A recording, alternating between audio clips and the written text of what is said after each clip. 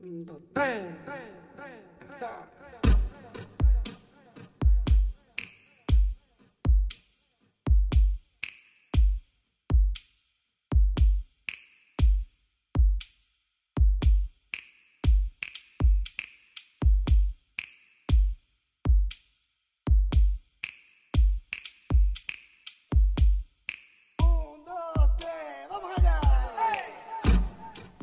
Lorsque j'ai créé Contrôle N, c'était dans une volonté de démocratiser la danse. Je crois que l'art est un outil puissant pour se connecter avec une communauté et susciter une réflexion sociale. Je voulais partager un processus chorégraphique avec le public, lui faire vivre l'expérience de la création.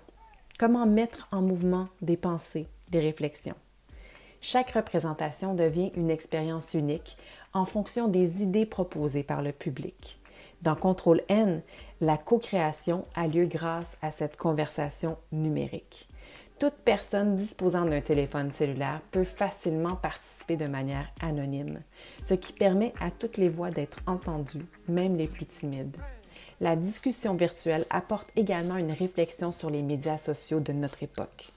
Quel est l'impact de nos propos? Comment participons-nous à la conversation dans cette ère numérique? Sommes-nous surchargés d'informations? Ce sont les réflexions sous-jacentes que propose la pièce Contrôle N.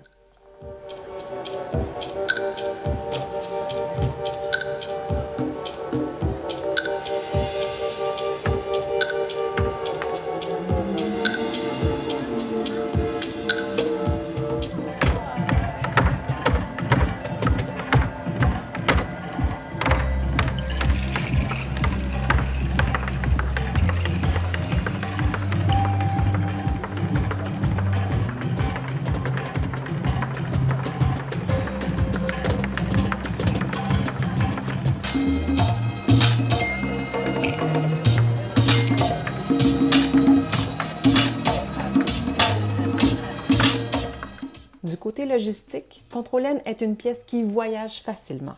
Avec seulement trois artistes sur scène, la danseuse, le musicien et l'artiste numérique.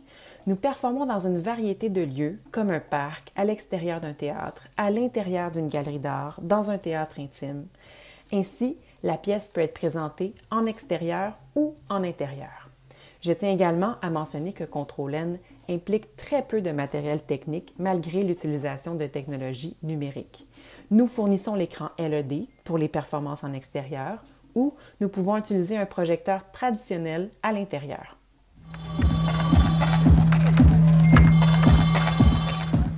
Contrôle N dure 25 minutes et est souvent présenté deux fois dans la même journée.